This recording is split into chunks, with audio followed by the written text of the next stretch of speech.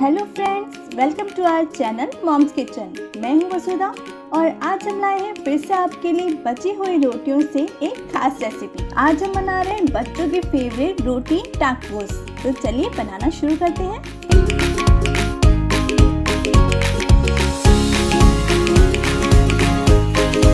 रोटी tacos बनाने के लिए सबसे पहले हम उसका मसाला तैयार करेंगे। तो मैंने एक कढ़ाई ली है, इसमें मैं डाल रही हूँ आधा चम्मच बटर आप चाहें तो घी या तेल भी डाल सकते हैं।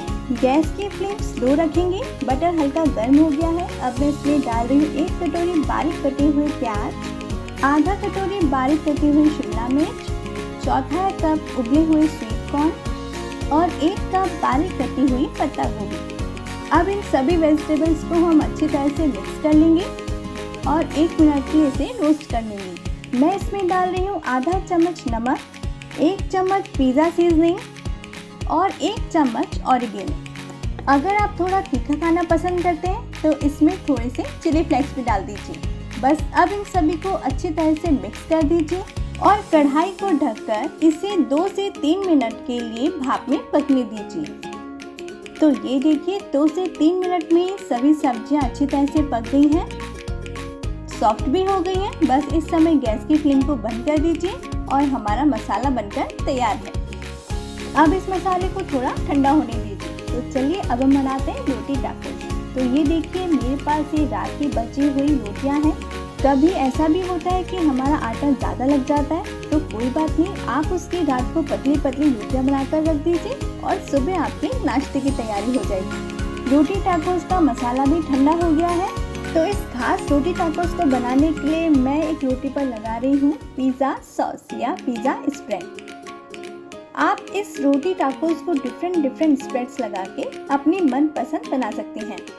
अब आधी रोटी पर हम डालेंगे हमारा टाकोस मसाला और इसे अच्छी तरह से रोटी के आधी तरफ़ फैला देंगे और मसाला लगाने के बाद इस तरह से हम रोटी को फोल्ड कर देंगे। अब दूसरी रोटी पे मैं लगा रही हूँ सैंडविच स्प्रेड आप इसी तरह से सैंडविच स्प्रेड पिज़्ज़ा स्प्रेड लहसुन की चटनी केचप या म्यूनीस लगाकर अलग अलग टेस्ट के रोटी टाकोस बना सकते हैं। तो ये देखिए, मैंने सभी रोटियों पर स्प्रेड्स और मसाला लगाकर इन्हें तैयार कर लिया है। अब हमें इन्हें सेकना है।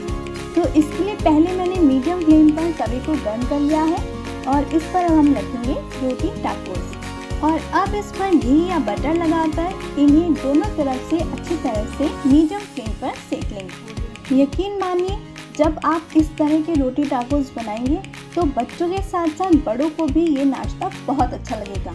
मेरे बच्चों को ये इतना पसंद है कि मुझे तो स्पेशली हैंड टू हैंड रोटी बनाकर इस नाश्ते को बनाना पड़ता है। तो ये देखिए, दोनों तरफ़ से ही रोटी अच्छी तरह से सेक चुकी है। अब इन रोटियों को थोड़ा सा इस तरह से खड़ा करके हम इसके किनारे भी सेक लेंगे। तो बस लीजिए, कुरकुरी रोटी टाकोस बनकर तैयार है। अब इन्हें प्लेट पर निकाल लीजिए। और कटर से इन्हें अपनी मनपसंद शेप में काट लीजिए। तो देखा अपनी बची हुई रोटियों से हम कितना टेस्टी और हेल्दी नाश्ता तैयार कर सकते हैं? तो आप भी इसे बनाइए और कमेंट करके मुझे ज़रूर बताइएगा कि आपको ये रेसिपी कैसी लगी। और हाँ अगर आप इसे कोई दूसरा नाम भी देना चाहते हैं तो प्लीज़ वो भी मुझे ज़रूर बताइएगा। मिलते हो आपसे नेक्स्ट वीडियो में। तब तक के लिए टेक केयर एंड बाय